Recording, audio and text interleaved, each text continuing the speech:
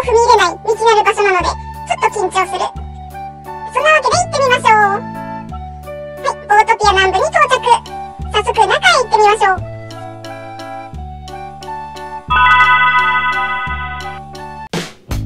オートピア南部にようこそ館内は大きなモニターがあって結構広いね僕たちは今回初めてだったのでスタッフさんにモニターの見方や予想の仕方手ナ剣の買い方などてもらいますマニュアル本ももらったよ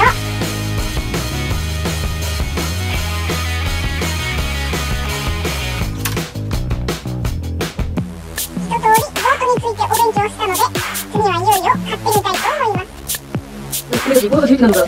この剣はな、この一かきがいいんだけど。でもこっちはこのしてないんじゃん。ほら、こんな風にしてな、ここ最低限のこれ買っといて、こっちがいいんだろうけども、で、このどういうんだろう。無事に買いました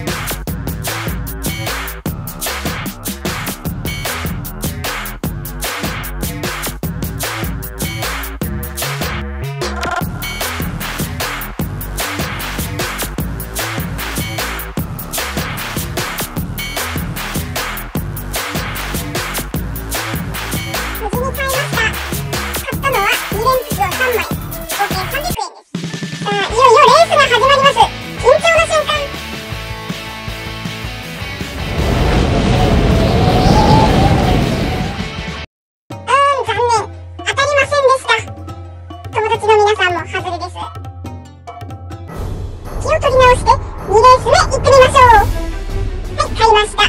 今度は2枚合計200円です。